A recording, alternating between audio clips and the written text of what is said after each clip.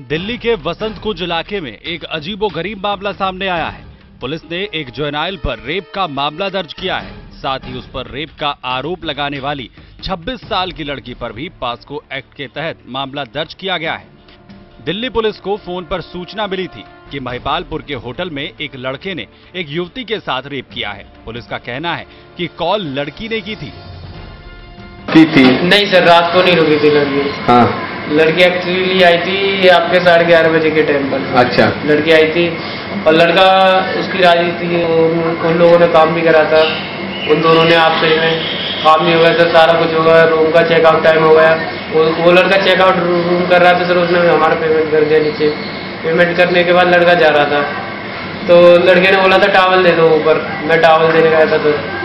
अंदर टावल दे दिया मैंने सर। तो लड़की फ्रेश हो गई ना धो के। कोई बात नहीं सर। उसने अंदर से लॉक लगा लिया सर। लड़की जी। पुलिस ने कहा है कि जब होटल के कमरे में पुलिस पहुँची तो लड़का कमरे में बैठा हुआ था और लड़की बाथरूम में थी जिसका दरवाज़ा अंदर से बंद था। बाथरूम का दरवाज़ा खुलवाया तो लड़की बाहर आई। उसने लड़के पर रेप करने का आरोप लगाया। पूछताछ करने पर पता चला कि नाबालिग की उम्र 17 साल है। लड़के ने पुलिस को बताया कि इस लड़की ने फेसबुक पर उससे खुद कांटेक्ट किया था। जिसके बाद उनमें बातचीत होने लगी। लड़के ने बताया कि लड़की की फेसबुक प्रोफ़ाइल पर फ़ोटो नहीं लगी हुई थी।